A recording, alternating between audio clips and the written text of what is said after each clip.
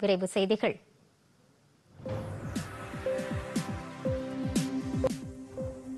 மத்திய அரசின் ஆயுஷ் அமைச்சகம் சித்தா யோகா ஆயுர்வேதா மற்றும் பல்வேறு இந்திய மருத்துவத்திற்கான கட்டிடம் கட்டுவதற்கு அனுமதி வழங்கியுள்ளதாக மாநில மருத்துவம் மற்றும் சுகாதாரத்துறை அமைச்சர் மா. சுப்பிரமணியன் தெரிவித்துள்ளார். கடலூர் மாவட்டம் கார்மங்குடியில் எண்பது லட்சம் ரூபாய் மதிப்பிலான அரசு ஆரம்ப சுகாதார நிலையத்தை அமைச்சர் திறந்து வைத்தார். இதைத் தொடர்ந்து பேசிய அவர் கடலூர் மாவட்டத்தில் இரண்டு தவணை கொரோனா தடுப்பூசிகள் நூறு சதவீதம் செலுத்தப்பட்டுள்ளதாக கூறினார். தமிழகம் முழுவதும் நூறு சித்த மருத்துவமனைகள் கட்டப்பட்டுள்ளதாக குறிப்பிட்ட அமைச்சர் மக்களை தேடி மருத்துவம் திட்டம் சிறப்பாக செயல்பட்டு வருவதாக தெரிவித்தார். நூற்றி முப்பது ரயில் சேவைகள் அதிவிரைவு ரயில்களாக உயர்த்தப்பட்டுள்ளதாக ரயில்வே துறை தெரிவித்துள்ளது. இந்திய ரயில்களின் புதிய கால அட்டவணையை ரயில்வே நிர்வாகம் வெளியிட்டுள்ளது. இதில் ஐநூறு மேல் ரயில்களின் வேகம் அதிகரிக்கப்பட்டுள்ளதாக தெரிவிக்கப்பட்டுள்ளது. பயணிகள் தங்கள் சேரும் இடத்தை பத்து நிமிடம் முதல் எழுபது நிமிடங்களுக்கு முன்பாக சென்றடையும் வகையில் ரயில்களின் சராசரி வேகம் ஐந்து சதவீதம் வரை அதிகரிக்கப்பட்டுள்ளது.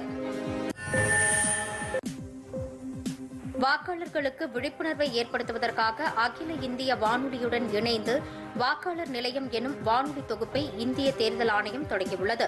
தலைமை தேர்தல் ஆணையர் ராஜீவ்குமார் தேர்தல் ஆணையர் சந்திரபாண்டேயுடன் இணைந்து புதுதில்லியில் உள்ள ஆகாஷ்வாணி நிலையத்தில் இதனை தொடங்கி வைத்தார். தேர்தல் நடைமுறைகள் குறித்து மக்களுக்கு விழிப்புணர்வை ஏற்படுத்தும் வகையில் ஐம்பத்தி இரண்டு வாரங்களுக்கு இந்நிகழ்ச்சி ஒலிபரப்பாக உள்ளது.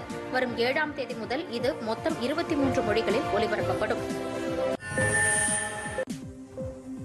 ராணிப்பேட்டை மாவட்டம் முழுவதும் ஐந்து மணி நேரத்தில் ஐம்பத்தி இரண்டு லட்சம் பனை விதைகள் நடவு செய்யப்பட்டுள்ளது. இந்த கின்னஸ் சாதனையை அங்கீகரித்து நடைபெற்ற சான்றிதழ் மற்றும் பதக்கம் வழங்கும் விழாவில் மாநில கைத்தறி மற்றும் துணிநூல் துறை அமைச்சர் காந்தி கலந்து கொண்டார். அப்போது பேசிய அவர் ராணிப்பேட்டை மாவட்டத்தை முன்மாதிரியான மாவட்டமாக மாற்றும் வகையில் நிர்வாகம் தொடர்ந்து செய்யப்பட்டு வருவதாக தெரிவித்தார். அனைவரும் ஒற்றுமையாக செயல்பட்டு மக்களுக்கான பல்வேறு திட்டங்களை கொண்டு சேர்க்க வேண்டும் என்றும் அமைச்சர் காந்தி கூறினார். திருவள்ளூர் மாவட்டத்தில் பத்து சட்டமன்ற தொகுதிகளுக்கு உட்பட்ட சுமார் நூறு இடங்களில் தேர்தல் விழிப்புணர்வு ரங்கோலி போட்டி நடைபெற்றது. இதில் ஒரு பகுதியாக கடம்பத்தூர் ஊராட்சி ஒன்றிய அலுவலகத்தில் மகளிர் சுய உதவிக் குழுக்களை சார்ந்த பெண்கள் வண்ணக்கோலமிட்டு தேர்தலில் வாக்களிப்பதன் அவசியம் குறித்த விழிப்புணர்வை ஏற்படுத்தினர். மேலும் அங்குள்ள நாற்பத்தி மூன்று ஊராட்சிகளிலும் மாணவ மாணவிகள் மூலம் தேர்தலில் வாக்களிப்பதன் அவசியம் குறித்து எடுத்துரைத்தனா்